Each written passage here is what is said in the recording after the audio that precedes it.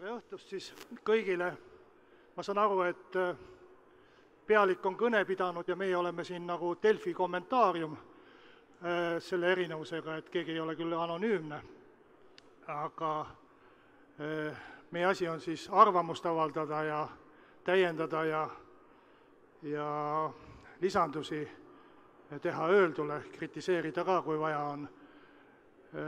Margus Tsahkna ütles oma kõnes, et Eestist peab saama viiekümne aasta pärast tõmbekeskus inimestele, unelma, nende unelmatele ja, ja nende unelmate teoks tegemise võimalustele, et ma mõtlen, et võib-olla äh, proovikski, kõik me võib-olla ei ela viiekümne aasta pärast enam, aga aga, aga unistada võime ikkagi, sõnastada oma unistuse. milline peaks olema Eesti Vabariik sada viiskümmend või, või Eesti Vabariik saja viiekümne aasta pärast ja alustaks daamidest, nii nagu ühele konservatiivsele erakonnale võiks äh, viisakas ja kombeks olla. Kersti Kaljulaid. aitäh! ma arvan, et äh, ka viiekümne aasta pärast võiks Eesti olla meeldivalt konservatiivne. ja mida see tähendab? see tähendab seda, et et äh, me igas põlvkonnas loome oma rahva uueks. see on üks väga oluline konservatiivne põhimõte, mis lähtub sellest, et äh, inimesel on väärikus ja seda me toetame. kuidas seda tehakse? seda tehakse niimoodi, et kõik inimesed, kes sünnivad siin maalapil või satuvad siia elama, evivad võrdseid võimalusi selleks, et omandada haridus, mida nad tahavad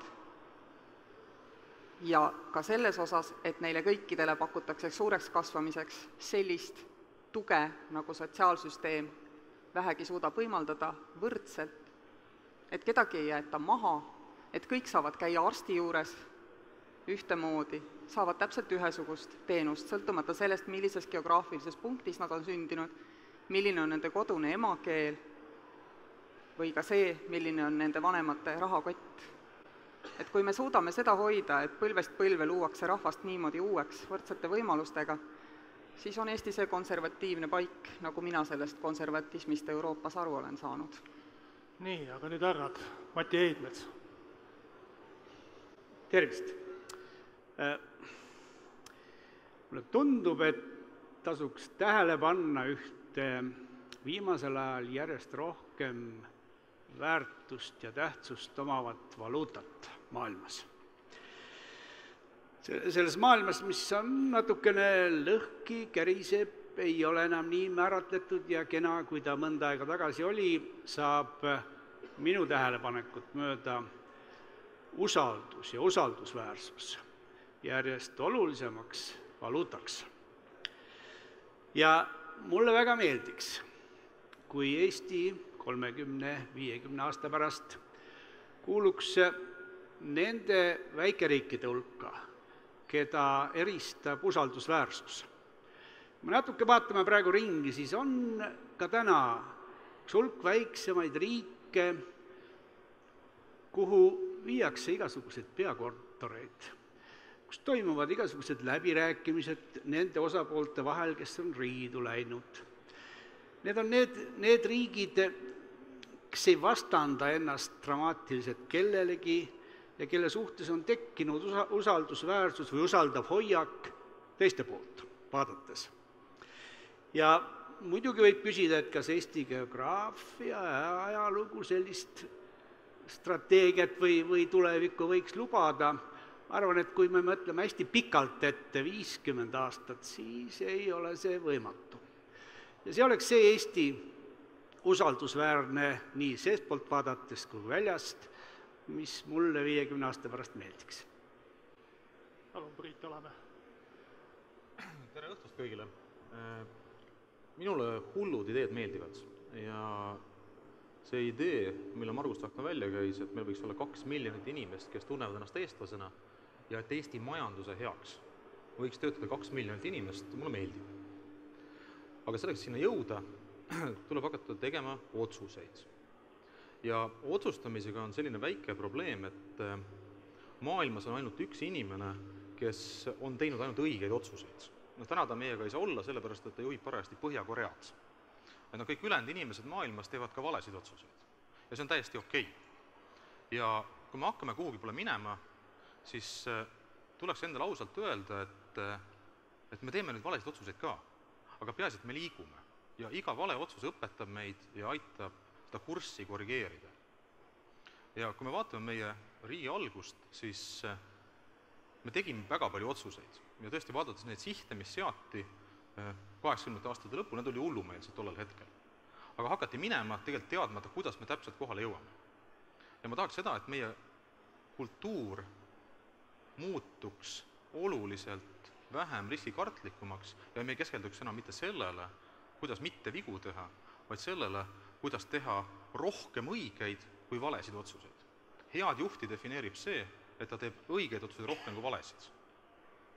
aga ta teeb palju otsuseid ja ta tõmbab teised kaasa. ja Eesti võikski olla selline julge, eksperimenteeriv, kohati eksiv, aga alati edasiliikuv riik. Mihhail Lotman. aitäh, ma olen väga nõus sellega, mida rääkisid nii Mati kui äh, vot ma ei mäleta, kui Priit, jah äh,. alustaks usaldusväärsusest äh,. on väga oluline olla usaldusväärne, aga see tähendab äh, teatud siirust ja julgust. kui me, me ei saa olla usaldusväärsed, kui me ei ole usaldusväärsed iseendaga. ja äh, mida ma pean siin silmas? me ei saa olla usaldusväärsed siis, kui me teeskleme, et me oleme keegi teine kui me ise. Ja usaldusväärsus algab oma identiteedist ja julgusest seda välja öelda ja seda arendada. kui ütleme, me räägime seal, praegu on peaaegu et sõimusõnaks muutunud väljend, et erinevus rikastab. kindel, et ta rikastab väga hästi ja ma arvan, et Eesti panus Euroopa Liidu on säilitada sellisena, nagu ta on, et me, see on meie panus, et me oleme erinevad ja me sellega rikastame Euroopat.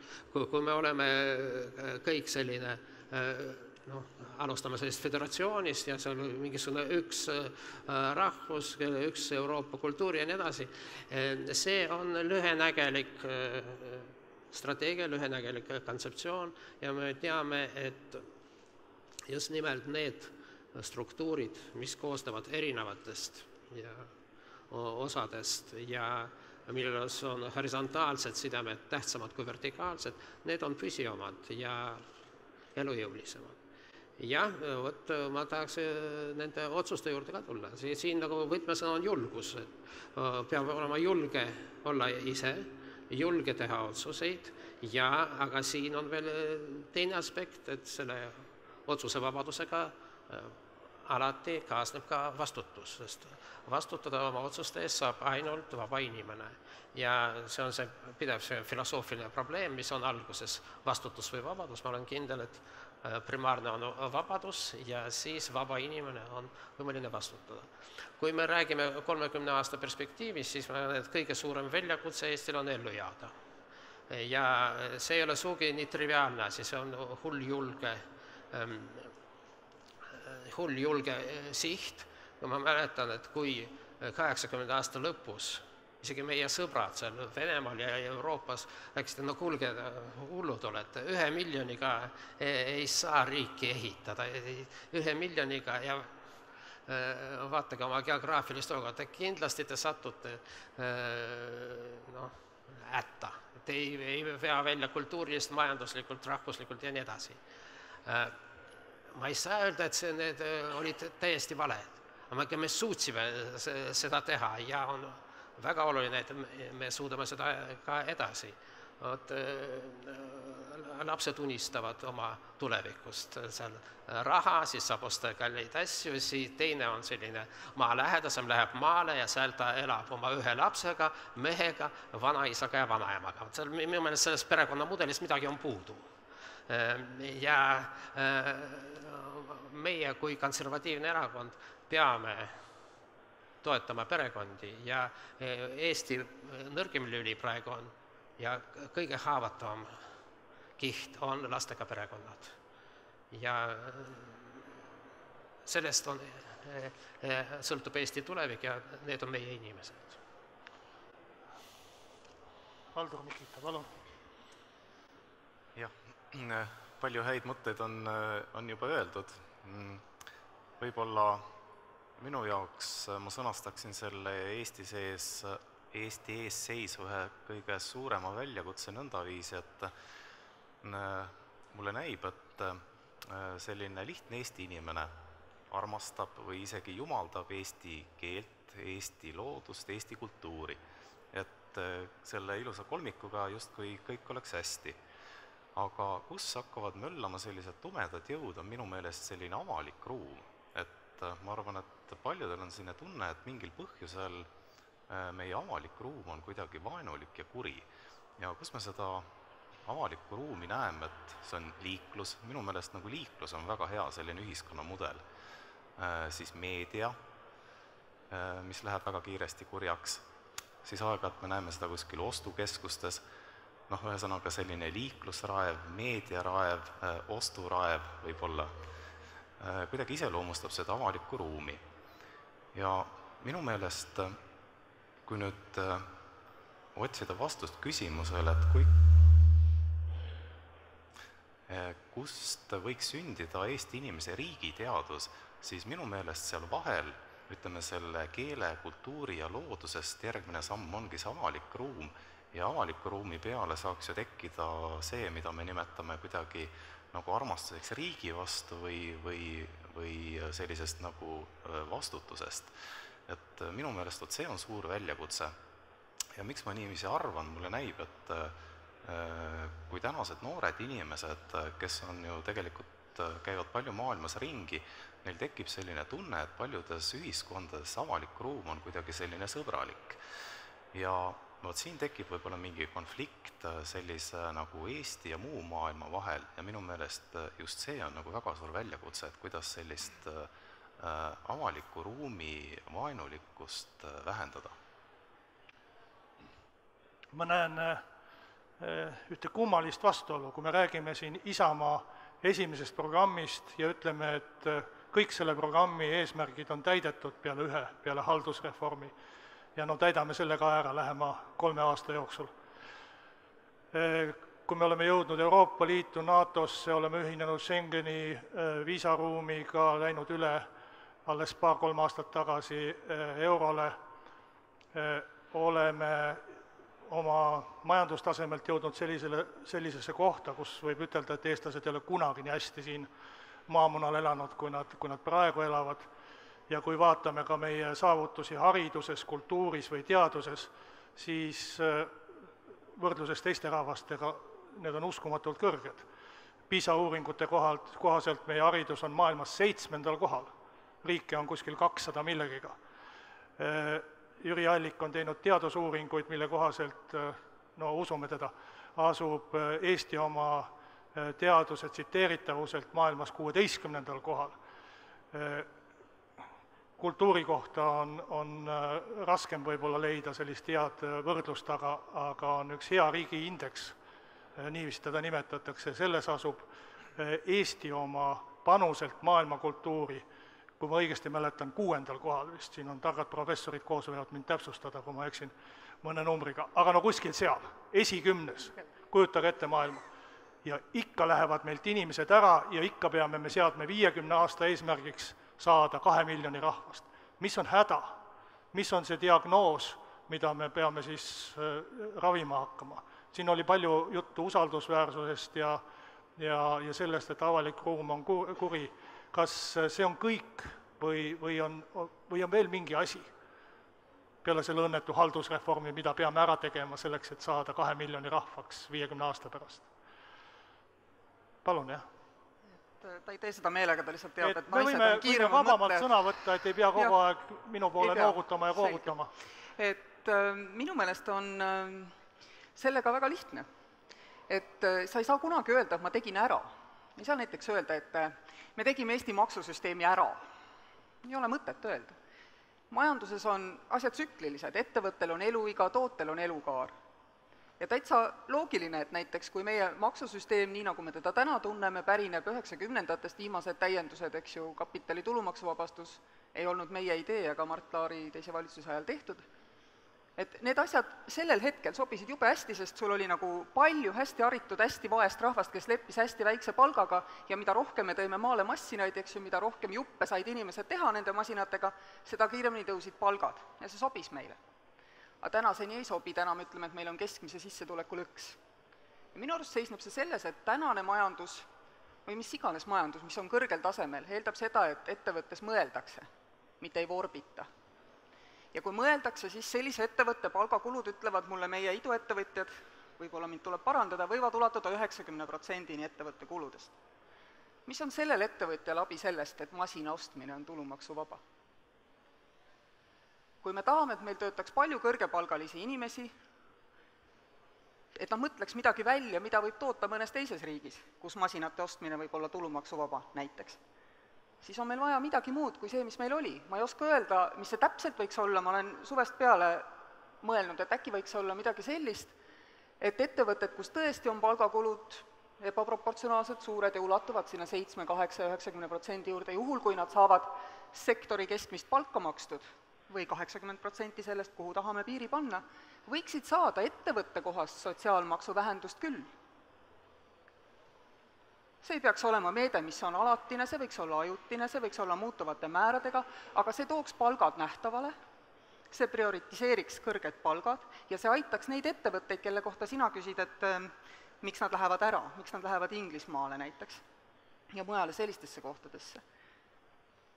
See on see, mida me peame kogu aeg tegema, me tegime ära ja me teeme uuesti, me teeme jälle ja me teeme teisiti, sest kõik ju muutub. ma tõin ühe majanduse kohase näite, kaks aga meesterahvast on seal üsna lõbustatud näoga. ei, kui küsimus oli, et mis on häda, siis vastus on, et ei olegi häda. ma vaatasin äh, täna hommikul Europarameetri viimaseid äh, tulemusi, mille järgi kaheksakümmend protsenti Eesti inimestest on oma eluga rahul. kaheksakümmend protsenti. On euro, Euroliidu keskmine. ja, ja nendes nimekirjades kus, mida Eurobaromeeter ka küsib, et mis, mille üle inimesed muretsevad, siis esimese kümne hulgas Eesti inimeste muredest ei ole muret oma keele, kultuuri säilimise pärast. ehk ma arvan, see on hea sõnum, et see, see ei ole selline teema, mis inimesi paneks tõsiselt muretsema. On kindlustunne, et see asi nii on ja jääb. ja seetõttu ma arvan, et sellises, sellises seisus no ei, ei peaks nagu mõtlema, et mis laadi selliseid akuutseid ravivõtteid kasutada. sellises seisus võiks täiesti mõelda tõesti selliseid pikemaid visioone ja pikemaid ettevaatamisi ja seetõttu mulle see tänane üritus väga meeldib. Põhiidee, mis siit tänasest ettekandest välja tuli, oli kaks miljonit. Ja ma arvan, et see on, see on vahva idee mitte sellepärast, et kaks miljonit, vaid seal taga on ju mõte, et Eesti elani- või Eesti rahvaarv peaks hakkama kasvama selle asemel, et kahaneda. ja, ja seal ei olnud päris selgelt veel välja öeldud ka, ka see mehhanism, kuidas see toimuda võiks, aga no me saame kõik aru, et iibe põhjal seda, seda ei saa toimuda. see saab toimuda ikkagi ainult immigratsiooni teel.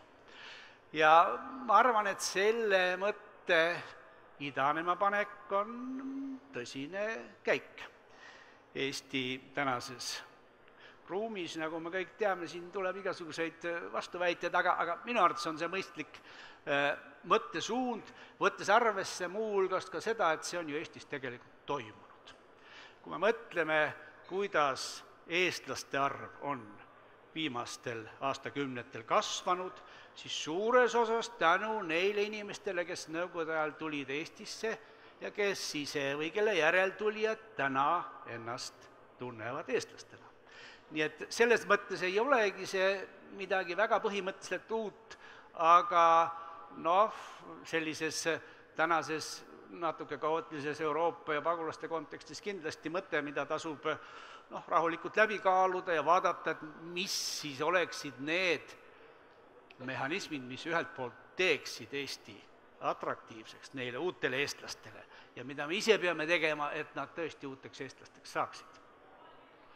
Priit tahtis seal. kui lubate, kallid kuulajad ja kallid panelistid, ma provotseeriks natuke, lemmiktegevus. ja tõstaks õhku kaks teemat. Esimene neist on seotud sellise suurepärase tähekombinatsiooniga nagu SKT. ja ma küsiksin teilt, mõelge, mõelge korra, et kui, kas te olete viimase kuu aja jooksul kuskil sõpradega saunas, kohvi taga arutanud teemat Eesti SKT kasv ja mis on see viimane number? mina olen jah. nii, sina oled, seda ma usun, et sina oled, jah.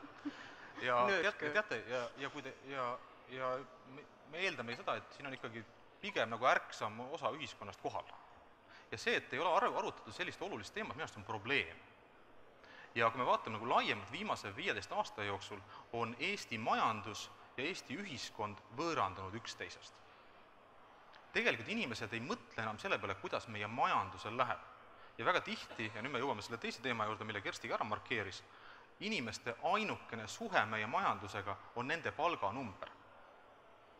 ja kuna me teame seda, et palgast pole keegi kunagi veel rikkaks saanud, keegi just ütleb väga hästi, et et kõik ettevõtjad ei ole miljonärid, aga enamus et-, miljonäre on ettevõtjad. rahvuslik rikkus ei teki kõrgest palgast. rahvuslik rikkus tekib meie ettevõtetest ja sinna koonduvast kapitalist, mille peal siis saab midagi eh, edasi teha. ja see on nagu üks mure teine mure, ehk küsimus ongi see, et kuidas me saame tekitada uuesti olukorra, kus ka tegelikult nii-öelda tädi Maali, kui ta loeb Postimehes seda, et Eesti majandus kasvas kuus koma viis protsenti, ta hakkab erutusest värisema. ta tunneb seda, et tema saab midagi sealt tagasi, sest täna meil seda tunnetust ei ole rahva seas. me oleme võõrdunud. ja no teine mure, siis kui see on esimene nii-öelda rahvu-, nii-öelda majanduslik patriotism koondnimetusega. teine teema, kui me räägime seda, et meie eesmärk oleks see, et meie palgad kasvaksid minu arust meie eesmärk ei tohiks olla see, et meie palgad kasvaksid. meie eesmärk võiks olla tõesti see, mis ära, ära markeeriti, et meie majanduse heaks töötavad lisaks meie, meie enda tublidele inimestele siin, ka inimesed üle kogu maailma. USA, Šveits, Singapur ei ole rikkad mitte sellepärast, et neil on kõrged palgad, vaid sellepärast, et nende majanduste heaks töötavad inimesed üle kogu Eesti. me oleme kõik väga uhked Skype'i üle, aga täna meie tublid Skype'i töötajad tee-, töötavad selle nimel, et USA majandusel läheks paremini. ja see on paradigma muutus. Kas me seame eesmärgi selleks, et meid võetaks tööle, või me seame eesmärgi selleks, et Eesti majandus muutuks ka muule rahvale tööandjaks ja selle tublide inimeste poolt loodud väärtuse siia toojaks. ja siis küsimus on jällegi ambitsioonis, ehk see majanduspatriotism ja nagu reaalne majanduslik ambitsioon, kuhu me selle sihi seame, kui hullumeelsed me oleme no sai provotseeritud. jah, ma ei tea majandusest suurt midagi, aga mul on äh, sõbrad, kes, äh, kellel on firmad ja, ja nii edasi ja ma, ma olen äh, tegelikult mitme inimesega rääkinud, kes on Eestist kas ära läinud või kavatsenud minna ja ka mõned ka tulnud tagasi ma ei ole ühtegi, tähendab mitte kunagi ükski nendest ei ole mulle öelnud, et ta on läinud ära sellepärast, et madalad palgad või et, et maksusüsteem on all. aga kusjuures põhjused võivad olla tä täiesti erinevad ja äh, võib-olla majanduse seisukohalt isegi paradoksaalsed, näiteks ma tean, et äh, miks äh, Londonisse mindi, sellepärast et seal on parem oopera kui, kui Tallinnas. Sest rikkal inimesel on te te teised vajadused, ta ei lähe McDonaldsisse sööma ja meil nagu restoranikultuur on juba järele jõudnud. aga ta, tal on ka kõrgemad standardid selle nii-öelda kõrgkultuuri ja pa-, paraku Eestis ta ei, ei saa neid lahendada. samas vot äh, äh, teine aspekt oli see, et seal Inglismaal on palju intellektuaalselt põnevam keskkond mitte majanduslikult, nimelt intellektuaalselt, seal on hullumeelsete ideed on kergem rakendada kui Eestis, see oli mulle täiesti üllatav, ma arvasin, et just Eesti on selline koht, kus häid ja innovatiivseid ideed saab kergelt rakendada. aga on mõni tagasipõrkunud, selgus, et seal Inglismaal on tohutu bürokraatia et seal mingisuguse, need asjad, mis Eestis saab paari hiire klõpsuga, seal sa täidad tohutud paberid, istud seal ühes vastuvõtuvas, teises ja, ja nii edasi. see, mis Eestis sa saab päeva jooksul teha, seal võtab kuid. nii et ma arvan, et me peame seda suunda, see e-riik ja e-majandus ja ma ei tea, mis asjad, seda peame arendama ja seal on arenguruumi küll, näiteks äh, mulle väga ei, meeldib Eesti maksusüsteem ja mulle meeldib ma maksta äh, makse ja mul on millega võrrelda, et kui ma olin pool aastat Rootsis ja no sisuliselt ma sain ainult stipendiumi. see, aga see de deklaratsiooni täitmine oli väga keeruline loominguline protsess. sama asi, ma olin Ameerikas stipendiaadina ja seal anti mulle selline raamat, mida ma pean täitma. Ja siis äh, minu sõbrad, üks on ülikooli professor, teine ähm, arvutifirmas üsna kõrgel, et no teeme nüüd õhtu vabaks. Ja nad, siis me kolmekesi seda täitsime, kusjuures mul oli ainult üks Fulbrighti stipendium, see, äh, nii et Eesti maksusüsteem on suurepärane, samas mitte päris. Kui näiteks ma kuskil Helsingis loen loengut, siis ma ei saa seda panna oma deklaratsiooni. see, see, see ei tule märtsis, see tuleb augustis mulle kiri, kuri kiri, et ma olen maksuvõlglane.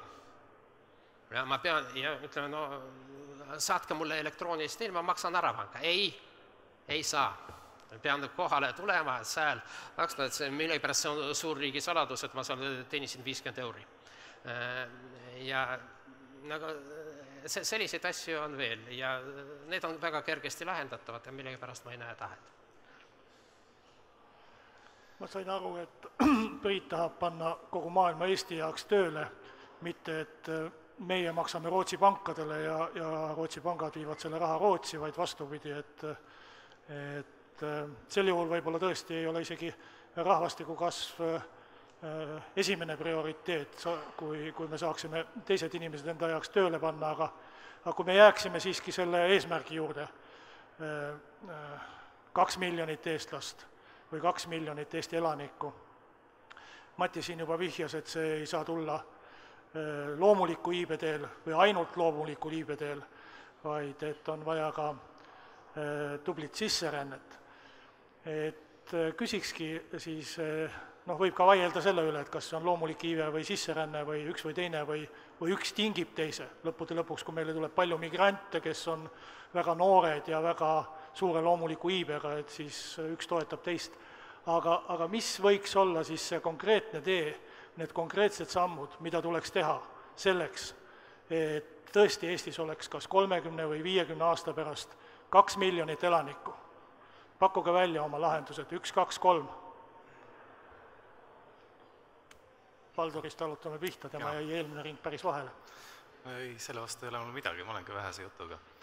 aga, aga... see-eest palju kirjutab just, mingi tasakaal peab valitsema, aga noh, tegelikult ma mõtlen samamoodi, et äh, mõnes mõttes ju äh, see kaks miljonit äh, inimest on selline sümboolne eesmärk, et tähtis on see, et Eestis oleks ka kolmekümne, viiekümne aasta pärast võimalikult palju tarku inimesi ja millest see tegelikult, see paneel ju pihta hakkas, et äh, on üks asi, mille poolest ikkagi me peaksime olema väga õnnelikud, et meie lapsed äh, ju justkui tõepoolest kuuluvad äh, maailma kõige targemate laste hulka, et noh, minu meelest seda, no see on koht, kus tuleks ikkagi väärtustada ka õpetajat.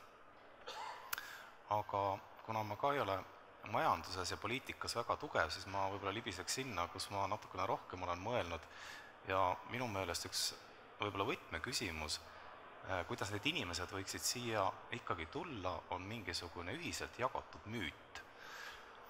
noh, ma ei tea, kuidas seda sõnastada, aga minu meelest äh, pikas perspektiivis võidab see erakond, äh, kelle hulgas või kus on kõige rohkem erakonnaüleselt mõtlevaid inimesi. ja noh, mõnes mõttes ju võib-olla selline mütoloogiline poliitika ideaal ongi seesama, eks ole, laulupidu.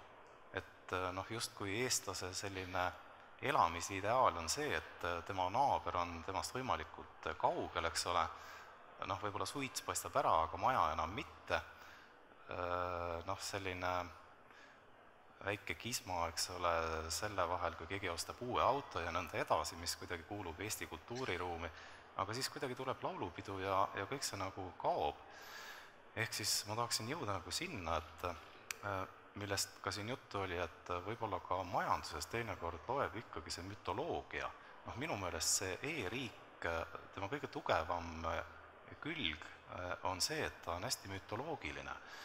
ja äh, noh, ma ise olen püüdnud otsida selliseid ühiselt jagatud müüte ja minu meelest, kui me küsime, et kes me oleme ja milline on meie identiteet, et me võiksime iseendaks jääda, siis äh, noh, minu meelest sellisele asjale nagu müüt ja mütoloogia tuleb, äh, tuleb ka veidi tähelepanu pöörata. Mihhail? ma arvan, et kui meil see probleem on kas iive või sisseränne, siis ma olen igal ajal igal juhul ma hääletan nagu iive poolt ja ma olen seda kuidagi ma olen seda ka praktiseerinud, mul on viis last ja kaksteist lapselast ja ma arvan, et see on minu tagasihoidlik pane, panus äh, äh, samas ma äh, võin olla ka näide sellest, no kui mitte sisserändajas, siis äh, nagu ütles äh, Äh, nagu ütles äh, Ligi sisserändaja poeg, äh, nii, kes minus pole tilkagi Eesti verd, aga samas ma olen nagu Eesti rahvuslane ja patrioot ja ehkki seal Lauri Vahtre arvas, et see mõnele ei meeldi, ma ei ole kunagi ku-, kuulnud või näinud mingisugust, ma ei ole seda häbenenud välja öelda ja tavaliselt sellesse suhtutakse arusaadavalt, ka venekeelses seltskonnas nii, niisiis jah, kodustada neid, kes tulevad, aga siin on väga oluline see asi, et äh, mitte kvootide kaupa, tähendab, inimesi ei tohi sisse vedada nagu ka karjaloomi nendest vagunitesse ja siis seal mingisugune äh, ametnik otsustab, et vot äh, Lätile nii palju, Eestile nii, nii palju, nii istuge rongisse ja sõidame. vabandust, see rong siin ei peata, see, meil peab olema ise võimalus otsustada, kes siia tuleb ja millisel määral. mina sain sellest äh, Marguse kahest miljonist aru üsna nagu Priit, et äh, jah, et kaks miljonit inimest maailmas peavad mõtlema, et Eesti on hea ja elama selle nimel, et Eestil oleks hea. seal võib olla väga tubli annus omakasu sees, mul ei ole selle vastu mitte kõige vähematki. kui kõik need, kes täna Silicon Valley's on võtnud selle Eesti e-residentsuse töötavad Eesti heaks. see meile sobib. me armastame seda üksindust, ma õpetan alati oma Euroopa sõpru, et kui te Eestis randa lähete, ärge istuge palun oma naabrile lähemale kui viiskümmend meetrit, see on eestlasele jube solvav. noh, nad suvi puhkavad Vahemere ääres, nad ei saa sellest aru, eks ju, ise. see tähendab seda, et meil ei ole vaja seda kahte miljonit siin Eestis tingimata. kitsaks läheb jah, E on see, see E-müüt, see juhuslikult on päris reaalne, päris kandev fluidum ja meil tõesti on see kaubamärk olemas, ma võin Euroopas täitsa kinnitada, et äh, ka iga internetiidiooti, eestlast, peetakse ikkagi IT-geeniuseks, midagi ei ole teha. isegi kui sa ei tea, mida tähendab protsessori poolitamine või ei saa täpselt aru, miks Luksemburgi ja Eesti ID-kaart ei tööta ühes arvutis korraga, pole oluline. samas see iibe teema, mul on ka neli last, üks lapselaps, vanus ei ole sealmaal aga on üks asi, mida ei ole konservatiivid üks-null ega Isamaa üks-null välja mõelnud. Ja see on üle-euroopaline probleem. naised said meestega võrdseks küll, aga see tähendas seda, et neile anti õigus olla mees. käia tööl nagu mehed, unustada ära, et kuskil on haiged lapsed nagu mehed, ja sellised naised, kes on valmis seda tegema, nemad võivad olla küll meestega võrdsed, aga see ei ole tõeline võrdsus ja sellepärast on kogu Euroopa tegelikult hädas iibe probleemidega.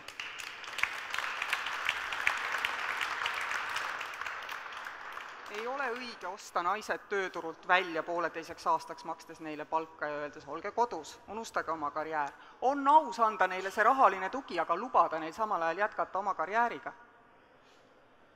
on õige, et mehed peavad olema rohkem perekesksed ja nad tänapäeva noored seda ka ilmselgelt on aga kas tööandjal on see kindlus, et äh, töötav mees samamoodi lõpetab oma tööpäeva, sest ta peab minema lasteaeda, nii nagu teeb seda töötav naine.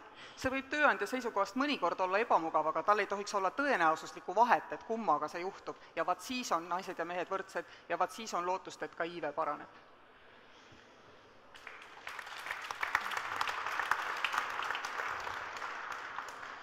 palun, Priit.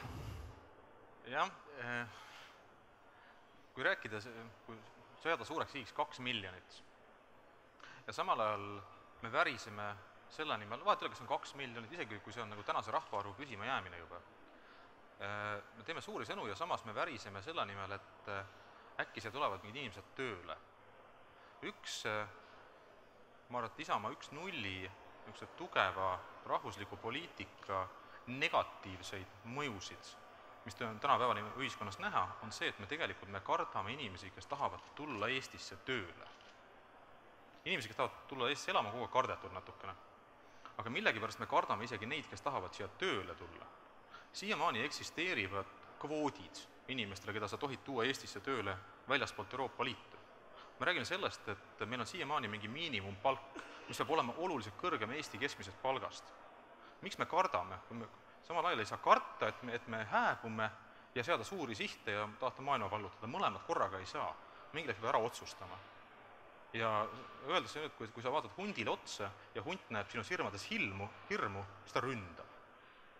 ja minu arust me peaksime ära lõpetama selle kartmise, et meid võetakse üle ja tegelema, tegelema pigem sellega, et ütleme inimestele, et tulge kõik Eestisse tööle iga inimene, kes tahab tulla Eestisse tööle, mitte siia meie olematut sotsiaalsüsteemi nautima, aga kes tahab Eestisse tööle tulla, on teretulnud, palun tulge, töötame koos.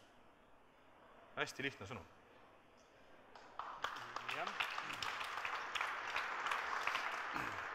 ma arvan, et kaks miljonit Eesti sõpra on maailmas juba praegu olemas. see ei ole hull idee. Teiseks ma arvan, et kui iibe peale ainult loo-, lootma jääda, siis on see tulemus mitte kaks miljonit, vaid pool miljonit. Nii et äh, meil ei ole pääsu sellest, et inimesi tuleb juurde. ja ma ei arva, et on keeruline neid inimesi siia tuua. märksa keerulisem on neid inimesi siia jätta ja lõimida ja hoida ja neid, neid ka sellesse kultuuriruumi, millest Margus Tsahkna rääkis, sisse sulatada ja siin on, kui küsimus oli, et mida tegema peaks, ma arvan, et niisuguseid esimesi, peale, peale kõiki neid puht juriidilisi nüansse, et me tegelikult praegu ju isegi paneme piire ja barjääre ette, et on, on tähtis seesama asi, mis alguses siin kõlas, see avaliku ruumi kvali-, kvaliteet. ehk see, kuidas niisugune tubli keskmine eestlane vaatab ühele tublile sissetulijale otsa. ja, ja siin on meil arenguruumi veel ja kui me, kui me selle, selle asjaga, mis meil peas istub, hakkama saame, siis ma arvan, me jõuame sinna kahe miljonini ka ja kahe miljonini jõuame ka nii või, või, või viisil, et, et enamik neist kahest miljonist noh, nii kultuuriliselt kui ka väärtusmaailma mõttes ongi eestlased, kuigi mõned neist võivad olla venekeelsed eestlased ja ingliskeelsed eestlased, mis siis?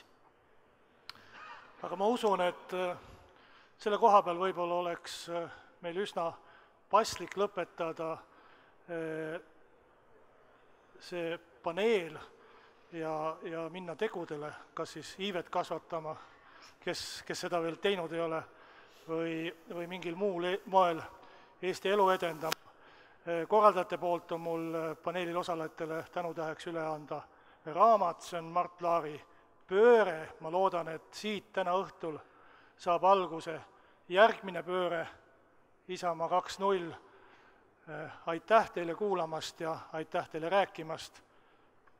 siin on nimelised pühendused. Mihhail Lotman, palun.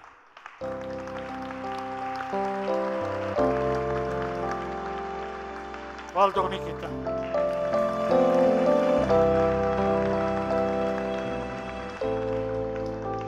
Priit Alamäe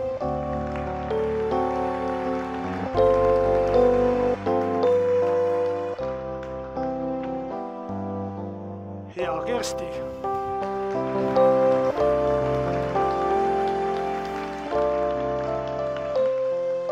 ja viimane Mati Heidmets.